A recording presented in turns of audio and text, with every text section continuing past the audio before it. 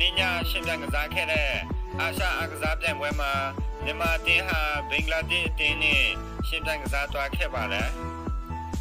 မြန်မာနီးပြချုပ်မိုက်ကယ်ဟာ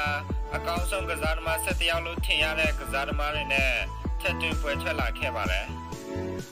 မြန်မာအသင်းဟာပထမပိုင်းတစ်ပိုင်းလုံးဘိုးလုံးပိုင်းဆိုင်မှုအတာအဖြစ်ကစားနိုင်ခဲ့ပေမဲ့ထိရောက်တဲ့ဂိုးပေါက်ချင်းချောက်မှုတစ်ကြိမ်များပြုလုပ်နိုင်ခြင်းမရှိတဲ့အဖြစ်ဖြစ်နေခဲ့ပါတယ်ပထ မပိုင်းမှာတော့ဂိုးမရှိတည်ဖြစ်ပွဲပြီးဆုံးသွားခဲ့ပါတယ်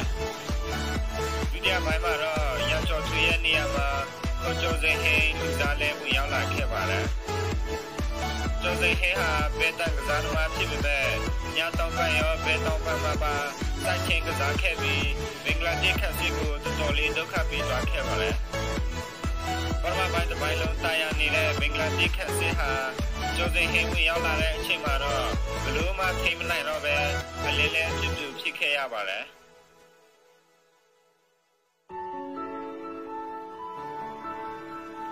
မြန်မာတင်ရဲ့အနိုင်ကိုဟာလည်းဂျိုဇင်ဟေးရဲ့အကွက်မြင့်မြင့်ဖန်တီးပေးမှုကြောင့်ရရှိခဲ့တာပဲဖြစ်ပါတယ်။ဂျိုဇင်ဟေးဟာအသက်ငယ်သေးတဲ့လူငယ်ကစားသမားဖြစ်ပေမဲ့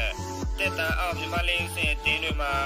ကော်နာရောဖရီကစ်ပါဒိုင်ခတ်ကပ်ပေးနေရတဲ့လူငယ်ကစားသမားကောင်းတစ်ယောက်ပဲဖြစ်ပါတယ်။